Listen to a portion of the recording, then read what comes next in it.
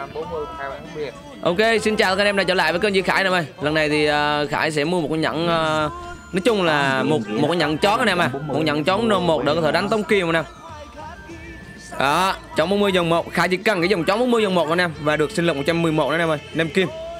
Ok, hợp lý dứt. Ừ. Thay vào nhẫn này nha anh em. Đó, nhẫn này coi như bỏ. Nhẫn này coi như bỏ nè mà. Sau này Khải có chuyển công lô nè. Thì Khải chỉ cần kích dòng một thôi. Đó, hai cái dòng 1 80 chó đúng chưa?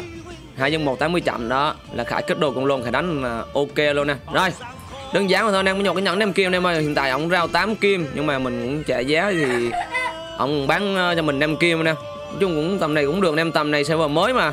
Năm kim thì khải thấy nó hợp lý rồi nè. Sau này sợ không có luôn nè. Mấy cái nhẫn này mình dòng một khó lắm anh em hiếm lắm anh em cực kỳ hiếm luôn nè. Trả được năm kim mua nhẫn này quá đẹp nha anh em rồi à, nói chung thì à, tầm này thì thiếu lâm anh em khả năng ngạc thiếu lâm. Cho anh em xem xét thiếu lâm rồi anh em ơi.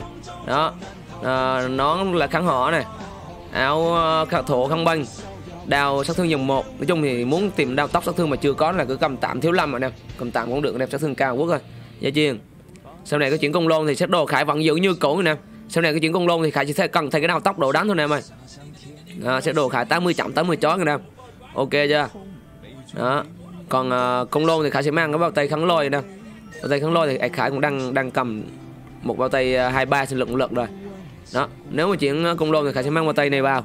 Và cái nón này khải sẽ mang cái nón 540 thì khải sẽ có 125 chậm nha nè đó nhẫn chậm này đây chậm này với lại cái nón nữa thì khải sẽ có 125 chậm nha nè nó vậy thôi đơn giản mà thôi nè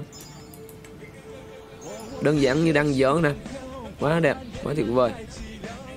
Rồi lên hoạt động anh em ơi anh em xem video đừng quên cho khả một like để chơi nha thì, uh, sau này có mua thêm món đồ gì vip vip hot hot thì cả sau sau hàng tiếp tục cho anh em xem.